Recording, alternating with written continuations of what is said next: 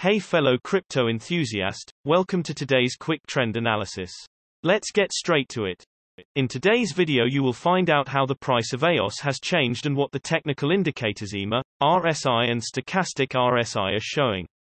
If you are not familiar with the indicators, check out the explanation videos down below in the description. By looking at the hourly time frame for EOS, we can see that the price moved up quickly with around 15.8% in the last 24 hours, with a current price of 3.75. We can see that the buyers are taking over because the volume was also high, showing that this move was strong.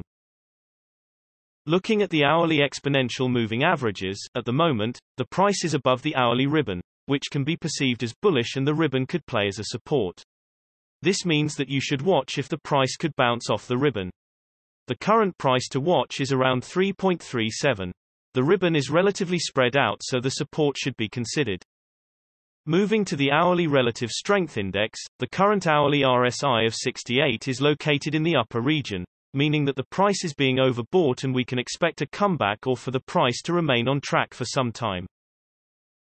Moving to the hourly stochastic RSI, there are no signs of the stochastic RSI being oversold or overbought at this time, but we can see that the trend is currently going down because the K line is below the D line.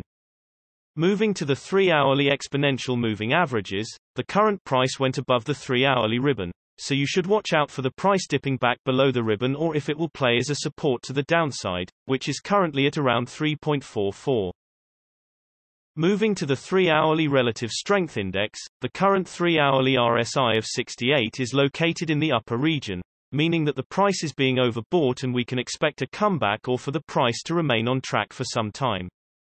Looking at the 3-hourly stochastic RSI, both the percent %K and percent %D lines are located in the higher region. This means that the price is high due to overbuying and a change in the trend, or at least some kind of consolidation, can be expected.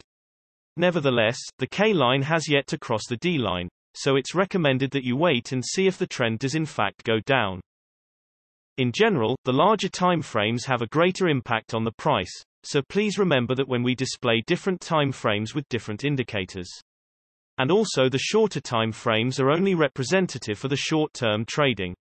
Thanks for watching. New videos are uploaded every few hours analyzing various cryptocurrencies, so be sure to subscribe so you don't miss out. If there is something that you didn't understand, leave us a comment below and we'll get back to you. You should know that trading with cryptocurrencies is very risky and these videos are only an overview of what happens with the price and a pure technical analysis without considering the fundamentals.